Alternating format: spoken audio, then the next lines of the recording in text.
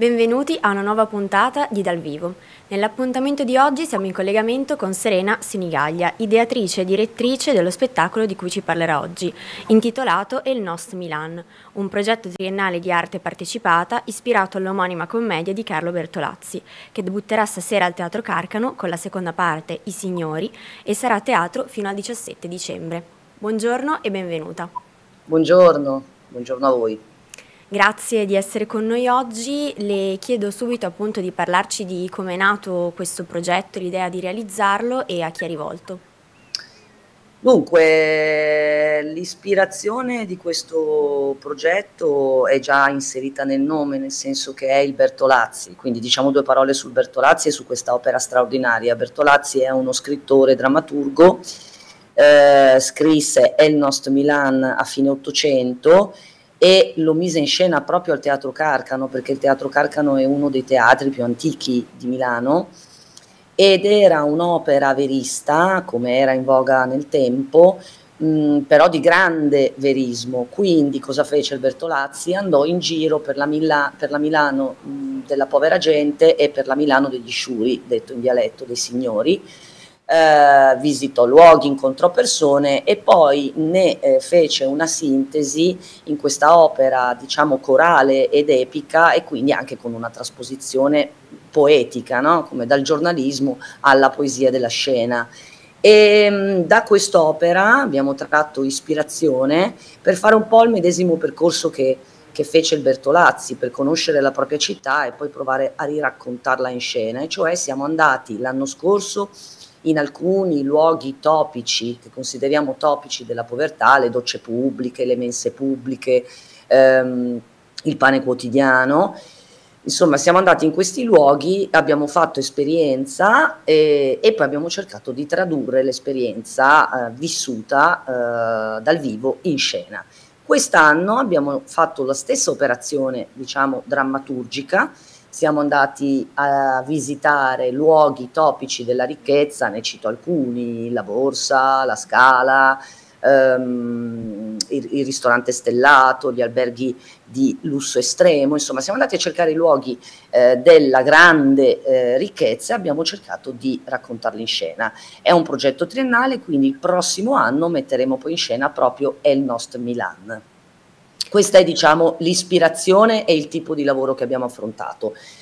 In scena ci sono 160, 170 credo, cittadini eh, che partecipano ai laboratori annuali organizzati eh, da ATIR in collaborazione con la compagnia PEM Proxima Res e, mm, e Ecodifondo.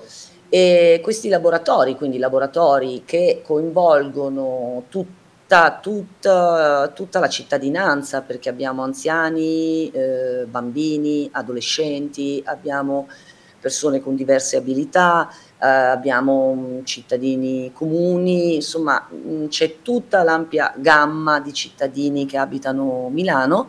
Questi laboratori quindi di teatro integrato eh, vanno in uno dei luoghi scelti, compiono la loro esperienza, eh, accompagnati da drammaturghi, da registi, da attori professionisti ed educatori professionisti, traducono poi in scena la loro esperienza e io, io da regista cucio tutti questi frammenti di esperienza in un unico spettacolo che in qualche modo va verso eh, come dire, la sintesi della rappresentazione.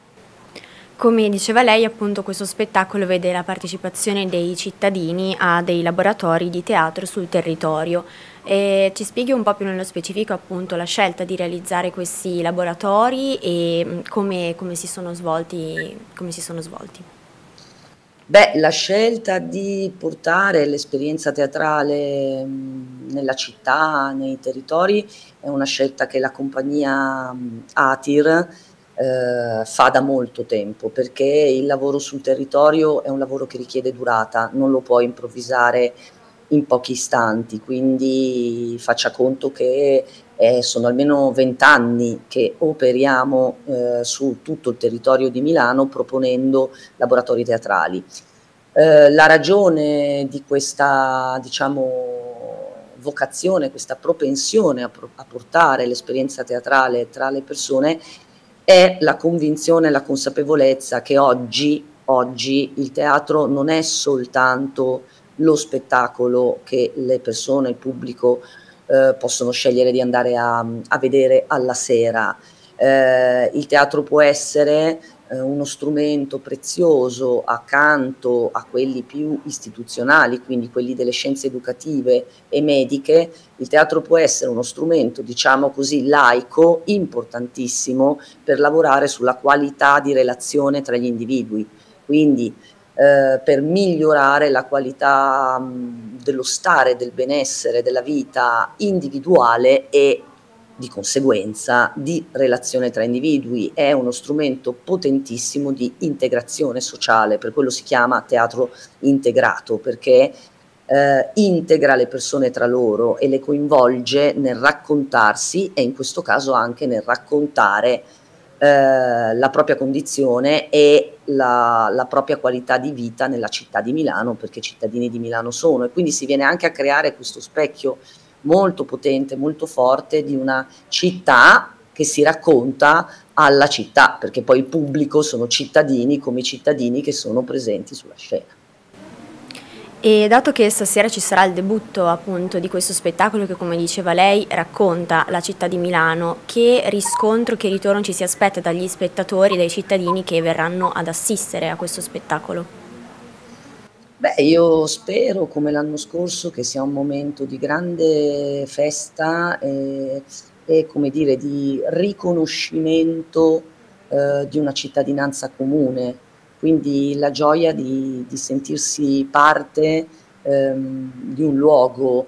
Eh, le narrazioni condivise sono questo, sono luoghi metafisici che ci fanno sentire meno soli e ci ehm, rinsegnano eh, il senso del pubblico, pubblico tra virgolette, della res pubblica.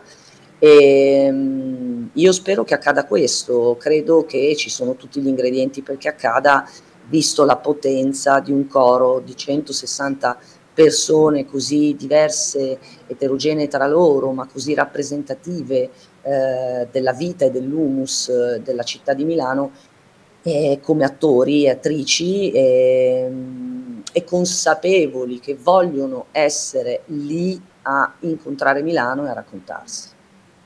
Prima di salutarci ricordiamo a chiunque appunto fosse interessato ad andare a vedere lo spettacolo, volesse comunque saperne di più, di visitare il sito ufficiale del Teatro Carcano. Io la ringrazio per aver partecipato a questo collegamento e le auguro un buon proseguimento di lavoro. Grazie, grazie mille.